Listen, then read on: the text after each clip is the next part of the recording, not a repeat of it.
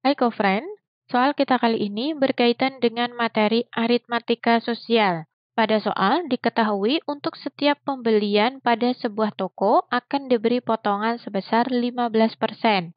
Jika diketahui Bundan membeli tiga buah buku yang keseluruhannya berharga Rp600, maka kita diminta untuk menentukan berapakah yang harus dibayar oleh Bundan. Pertama-tama, kita akan tentukan dulu untuk nominal potongannya yang dapat kita peroleh dari perkalian antara persentase potongan dengan nominal belanjaan Bundan.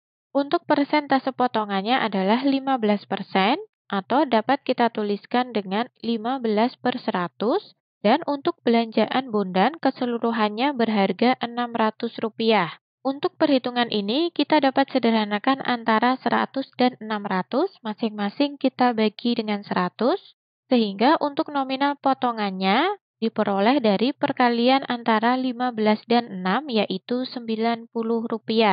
Kemudian, untuk menentukan nominal yang harus dibayar oleh Bondan, dapat diperoleh dari keseluruhan harga dari tiga buah buku, yaitu Rp600, dikurangi dengan nominal potongannya yaitu Rp90.